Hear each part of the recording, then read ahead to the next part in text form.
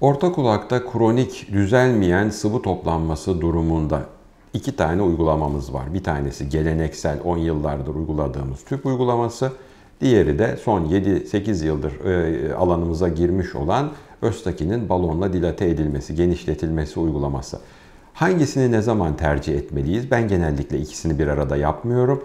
Ama e, balon genişletilmesi örneğin yaz önündeysek, denize havuza girilecek olan bir mevsimdeyse düşünülebilir. Ama tüp uygulaması daha etkin kanıtlanmış bir tedavi olması nedeniyle örneğin e, e, okulun açıldığı Eylül-Ekim ayları itibariyle e, kullanılabilir. Yani mevsime, yaşa, döneme göre değişiklikleri, endikasyonları değişiklikler göstermektedir.